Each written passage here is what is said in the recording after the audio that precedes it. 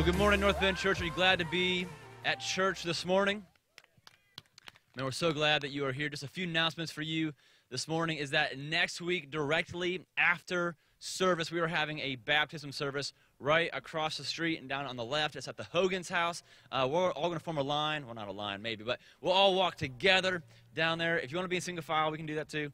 Uh, but we'll walk together down there. It's going to be an incredible time to watch people taking their next steps in faith. And you can still sign up for that. Just northbend.church slash baptism, I believe, and you can get on that list. And also, we are excited that October we are moving back into the building and we are moving forward. So we're excited about that season of the church uh, and having some exciting things that Pastor Jason is going to share with you in just a few moments. Well, hey, I'm glad again that you guys are here. So let's stand to our feet and let's begin to worship.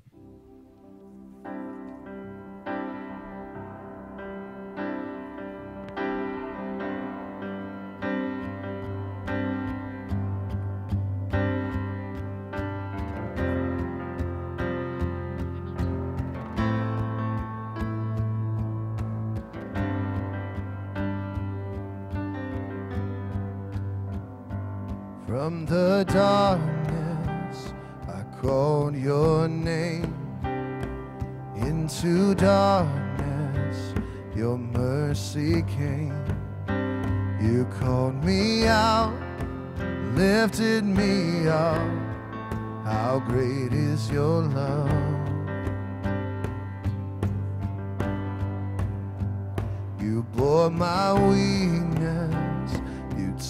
My shame, buried my burdens in fields of grace. You called me out, lifted me up.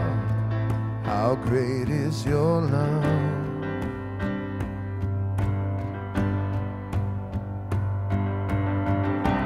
From the heights of heaven, you stepped down to earth. Innocent perfection, gave your life for us, and we are amazed. Yes, we stand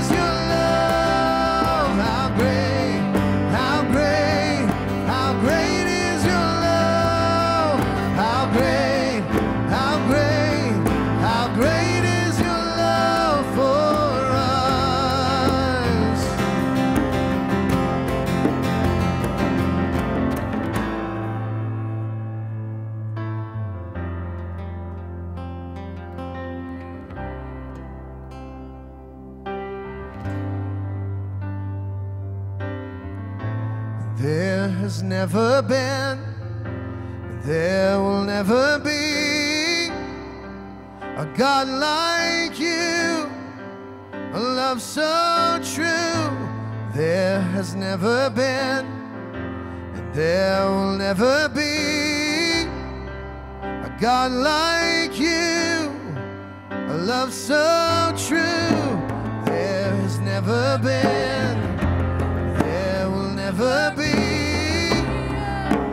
God like you, a love so true, there's never been.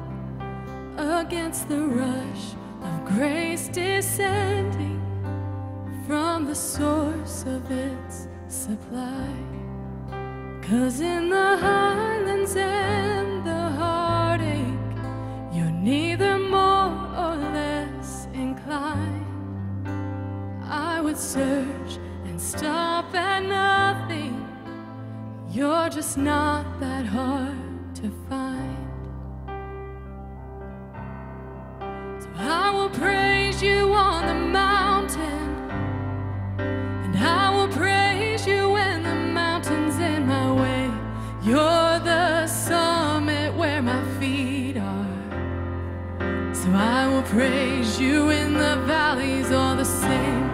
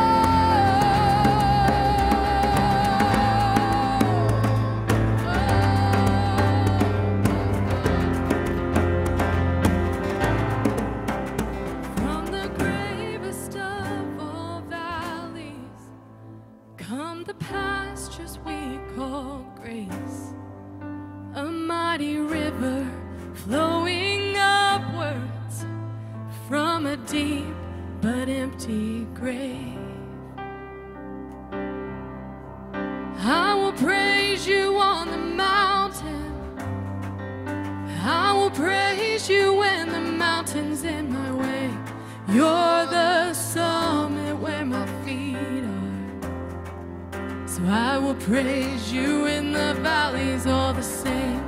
No less God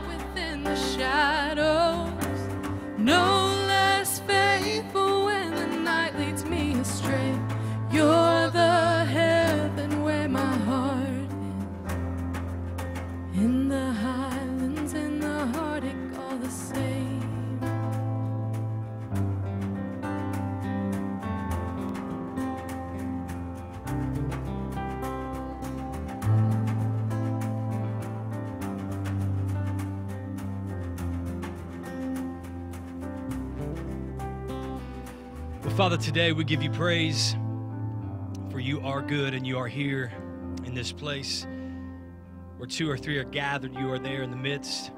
And so, Lord, we just thank you for being here, meeting with us today as the church. Father, I pray that all hearts and minds would be clear in this moment, God.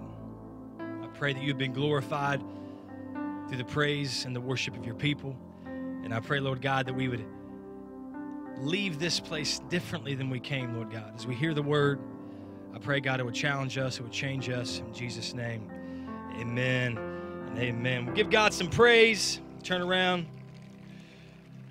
give someone a head nod or something. You can be seated. Uh, I just want to go over a few things real quick before I jump into the word today. Um, coming up, not this Wednesday, but next Wednesday, the 16th, we are going to be having a relaunch night, a relaunch night. If you're wondering what that is, okay, everybody is because it's a new thing. Something we're doing is we're preparing to go back into the building in October. I'm incredibly excited to uh, to move forward in this season. I know it's been an interesting time, an uncertain time, uh, but if you have not seen the video yet, uh, we talked a little bit about uncertainty, but we b- believe we still serve a God of certainty. And so we're moving forward with so many plans that we had uh, before COVID 19 hit.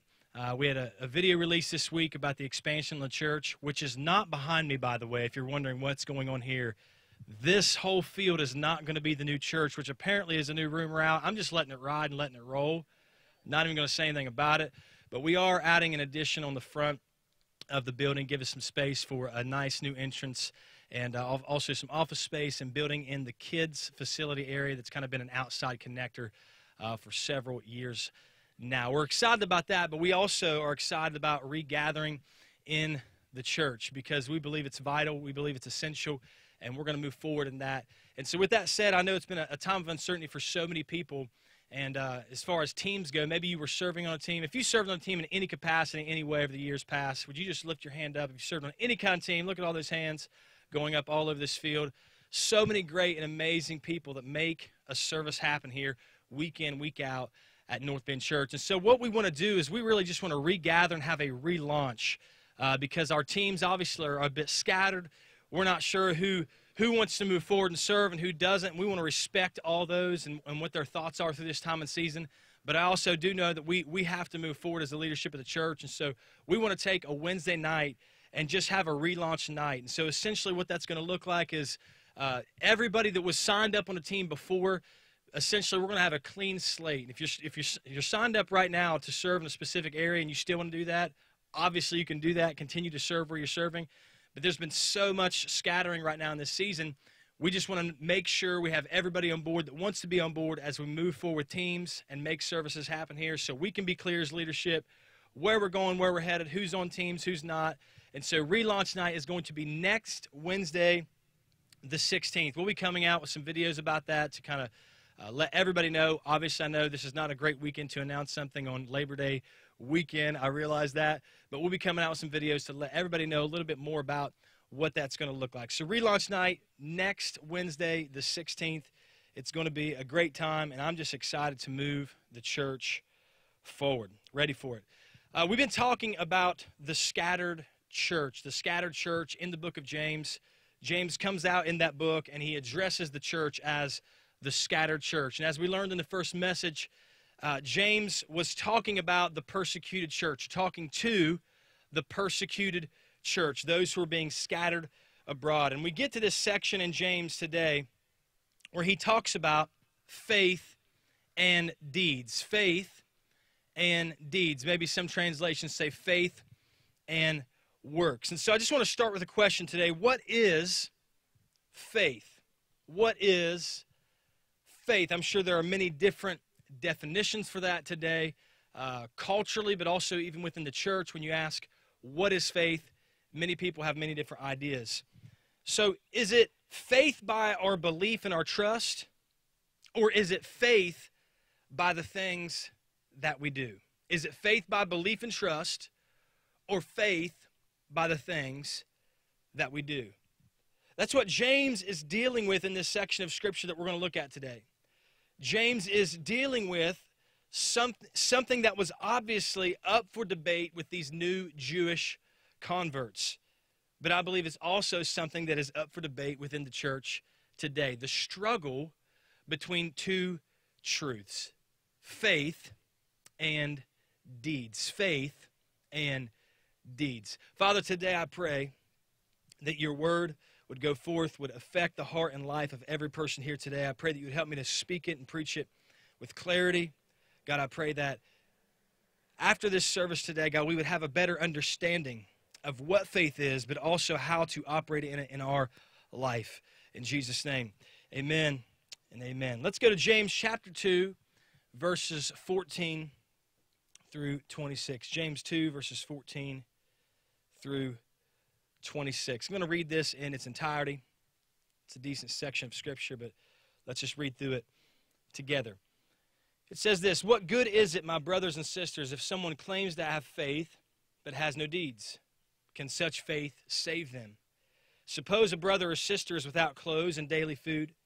If one of you says to them, Go in peace, keep warm, and be well fed, but does nothing about their physical needs, what good is it? In the same way, faith by itself, it, if it is not accompanied by action, is dead. But someone will say, You have faith, I have deeds. Show me your faith without deeds, and I'll show you my faith by my deeds. You believe that there is one God? Good. Even the demons believe that and shudder. I love the bit of sarcasm that I sense there with James as he's writing this letter. He says, You foolish person, do you want evidence that faith without deeds is useless?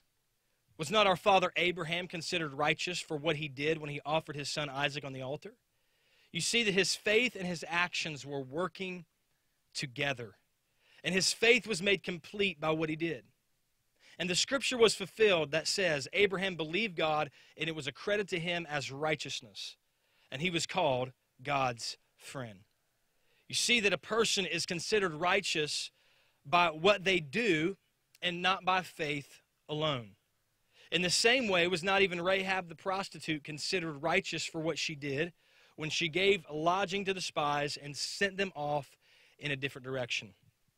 As the body without the spirit is dead, so faith without works or deeds is dead. There's a lot in this passage of Scripture today, and I want to do my best to unpack a, lot of it today. But I, I, want to start by being very clear in this message today because I, I don't want you to start with the wrong idea or the wrong direction of where this text or where I'm going today. Good deeds don't make you right before God. But when you are made right before God, you want to do good deeds. I want to say that again and be very clear. Good deeds don't make you right before God. But when you are made right before God, you want to do good deeds. Does that make sense? Does that make sense? I, I don't do things for God to get Him to love me. I do things for God because He has loved me. You understand that? There's a big difference. So I'm not setting up or preaching today a works based system or salvation. But understand this outward works are a byproduct of an inward work. Are you with me? Outward works are a byproduct of inward works.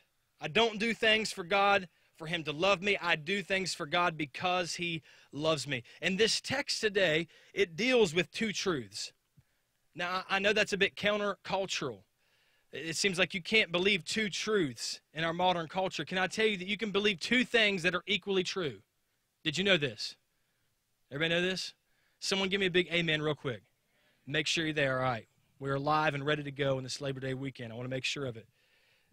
I want to talk about the tale of two truths just for a moment. If you believe in one truth, you do not have to discard the other truth. We've been talking and hearing a lot about truth here in these messages on these great outdoor weekends.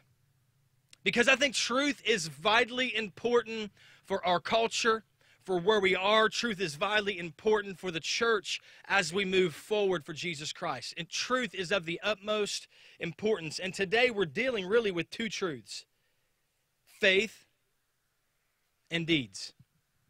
Faith and deeds. And it needs to be both. Can I just say that we, ha- we have to have faith and we have to have deeds? And that's what James is beginning to unpack to the early church. The church, and the world for that matter, often separate things to create dividing lines. I don't know if you've noticed that or not. There's some dividing lines within our culture, there's some dividing lines within the church.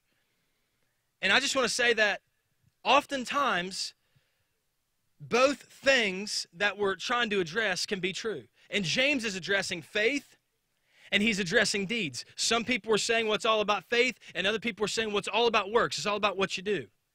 So there was a bit of discord, I believe, between the early Jewish Christians. And so I just want to talk about the church today. I don't want to get into all the facets of the world. We don't have enough time for that. But for the church, I just want to give you a few examples of kind of what the church does. This is what the church does to create dividing lines. And probably a lot of you have been involved in church long enough that you know what I'm getting ready to say is absolutely true. Remember, we're talking about the tale of two truths. So, within the church, are we missional or are we attractional? Are we missional or are we attractional? Do we love the Word of God, the preaching of the Word of God, or do we love worship? Do we believe in the sovereignty of God or the freedom or free will of man? Do we preach grace or do we pre- preach truth? Is it faith or is it deeds? Can I tell you that it's both? It's both. We are a missional church, and I believe a missional church should be attractive in the world. People should see it like a lighthouse. The Bible says we're, we're like a city on a hill. Are you with me? It's attractive, isn't it? When, when, you, when you start a fire, people want to gather around it, don't they? Gathers people. That's what the church does. So the church is missional, yes, but the church also is attractional. Do we Love the Word of God? Absolutely. Do we love worship? Yes. And people try to create dividing lines. Well, yeah, well, they're all about singing at that church. They're all about music. We're actually all about both. We love the Word, we love worship. Do we believe in the sovereignty of God or do we believe in the freedom of man? Both. I believe God is sovereign, but He has also allowed us to have choice in our life to choose this day who you will serve. I think you get it. We've been talking a little bit about truth intention, and I, I hope you understand this, this idea about truth intention. And I, and I love grace and truth for these two ideas because grace and truth are held in equal tension with one another. If you preach all grace and no truth, the tension will cause it, the lack of tension rather, on the tent will cause it to fall. You preach all truth and no grace, the lack of tension on the tent will cause it to fall. But if you preach grace and truth as equal truths, truth is held in tension. And so, as Christ's followers, we should desire to have faith and also desire to show deeds, to have good works, to show forth our good deeds to the world around us. Why? Because deeds is what makes Christ known. Did you know that? Deeds, works, how we live out our life, that is representation of Jesus Christ on this earth. How we live, how we walk, how we talk, our interaction with people. There should be a connection, I believe, between our heart, between our hands, and between the things we do. Are you with me? Let's say it this way there should be a connection between our heart, our head, and our hands. If you believe it here, it will eventually make its way here. Are you with me? You know, I'm not going to preach too hard against this statement. People say things like, well, I had the right intention. Well, listen, if you have the right intention over and over and over again, eventually you're going to do what you, you intend, intend to do. Does that make sense? Well, I had the right intention. I just didn't follow through. Well, eventually, if you have the right intention, if your heart if your heart believes a thing, then your hands will begin to do a thing.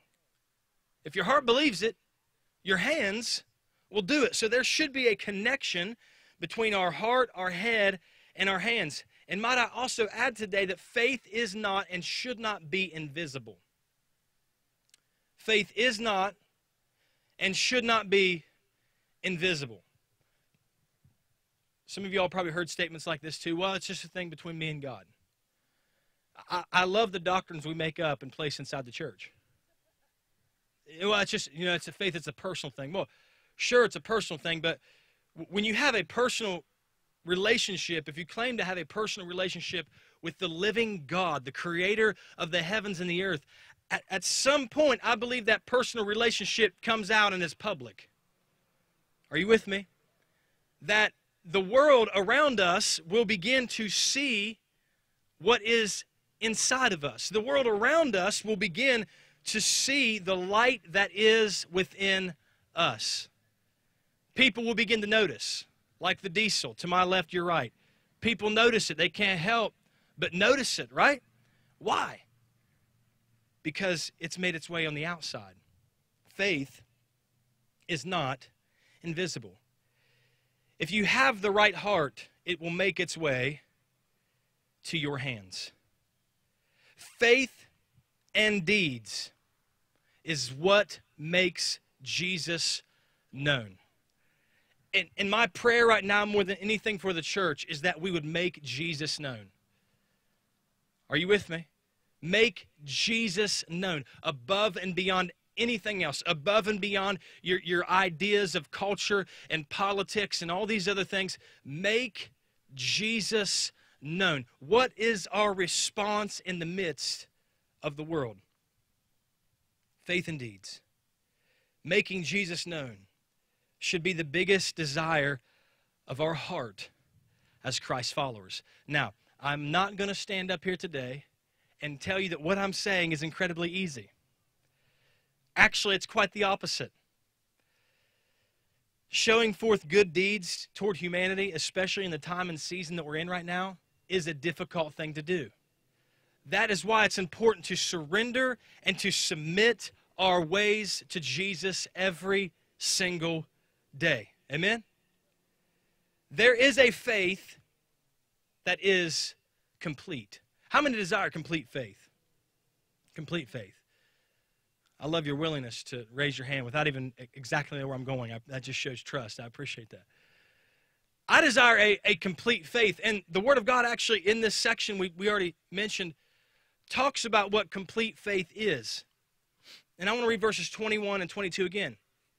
It's about Abraham, the father of our faith.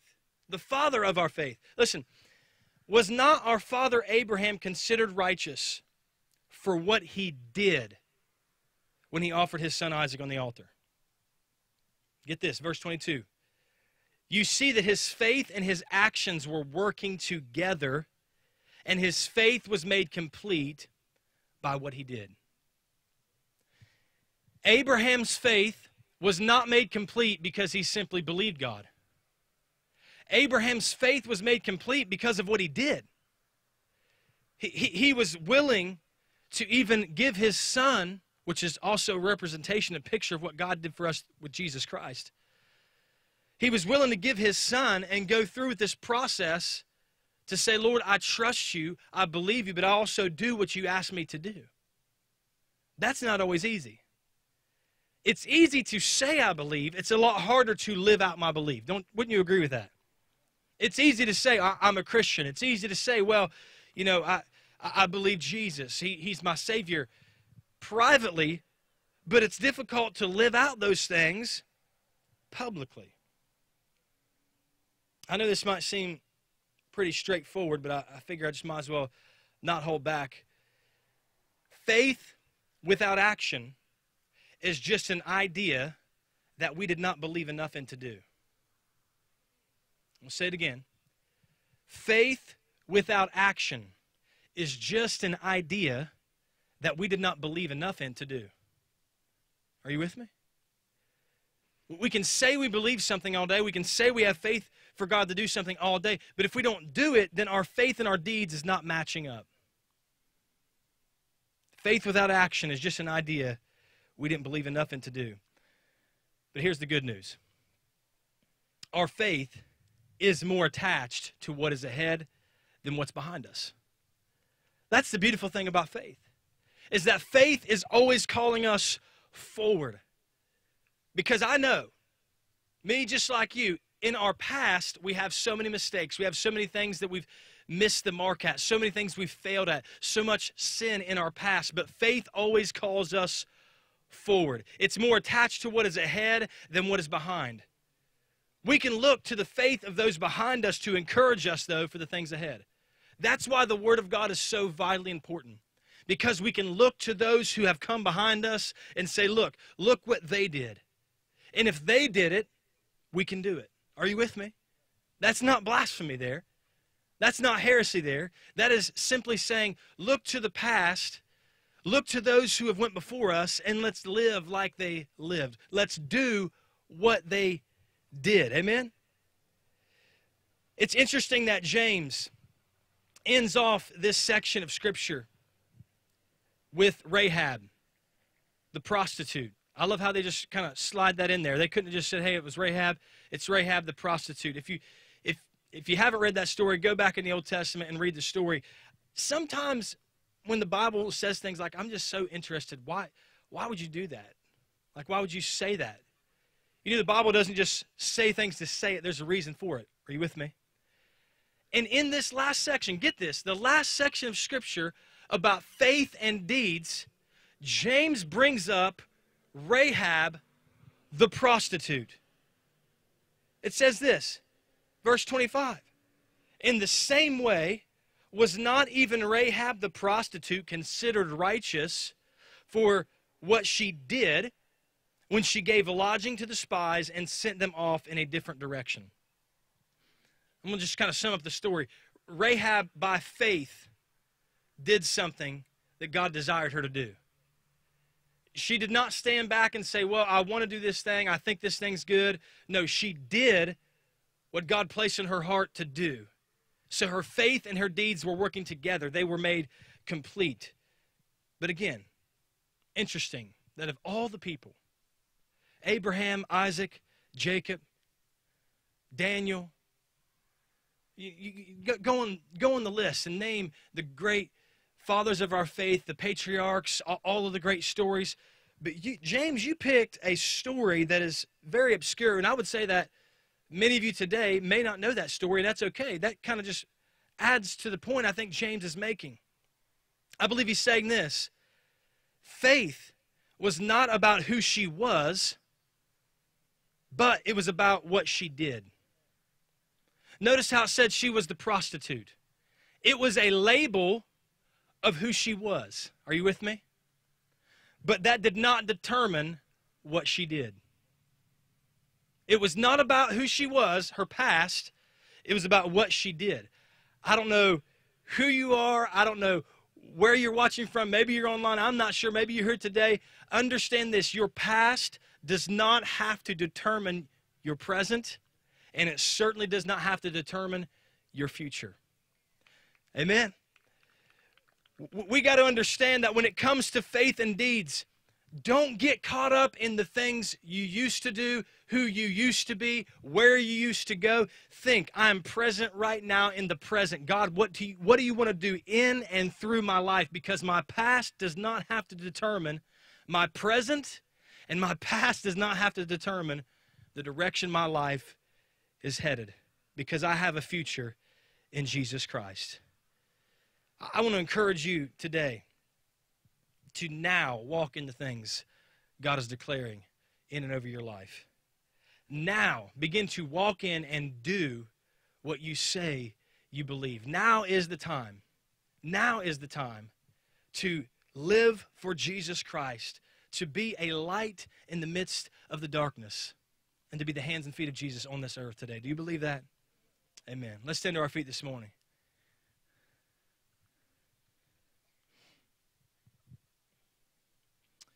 I just simply want to pray today uh, for you that God would open up doors of opportunity for you to speak into the life of others. I want to be very clear. You know, it's not just my job to speak into people's lives, it's your job. It's our job. Why? Because we are the church. And so I, I just want to pray today that we would have the heart to say, Lord, I've had faith for so many things, but Lord, I want to walk in and do what you ask me to do. Lord, I want to speak into the, the neighbors' lives that I've been thinking about for some time now. I, I want to I want to get with my family that that I've been praying for for so many years. I want to I want to talk to that friend that I've been thinking about. Lord, I, I want to do what you're placing on my heart to do. And I believe that the Holy Spirit of God can empower you to do that. Understand this, it's not always easy. It's not always always comfortable, but God has not called us to a life that is easy or is comfortable. We want to be faithful. We want to be effective for the kingdom of God. Let's pray today. Father, we thank you so much. Thank you for your goodness. Thank you for your grace. Thank you for your mercy. And God, thank you for your people. God, I believe today that you're doing something in the heart and in the life of every person here in this field today. Maybe someone watching online as well. God, I believe that you're going to open up doors of opportunity for us to speak life into those around us. You're opening up doors of opportunity, God, and giving us boldness to step into the things we've been feeling in our heart. Lord God, may there be a connection between our heart, our head, and our hands. And the things that we believe, may they begin to come out of us, and may we show them to the world around us. Lord God, strengthen your people today. Bring peace to your people today. May we walk in the goodness of who you are. And if there's someone here today, Lord God, that does not know you as Savior, that does not know you as Lord, someone watching, Lord, right now in this moment, just may they say, Lord Jesus, I give my life to you. I give all that I am to you. I believe that you died on the cross for me, and I believe that you rose again, and I place my trust in you. God, you are good. We love you, and we praise you. It's in Jesus' name we pray. Amen and amen. Well, let's give God some praise.